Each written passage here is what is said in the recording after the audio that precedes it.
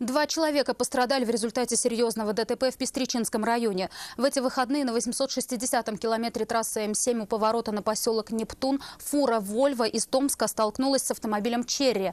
По предварительным данным, 49-летний водитель легковушки при выезде со второстепенной дороги на главную не пропустил длинномер. В результате аварии фуру отбросила в кювет встречной полосы, а «Черри» была разбита с левой стороны. В результате ДТП водитель иномарки получил перелом ноги и руки. Шестилетняя девочка, пассажир, госпитализирована с переломом ноги.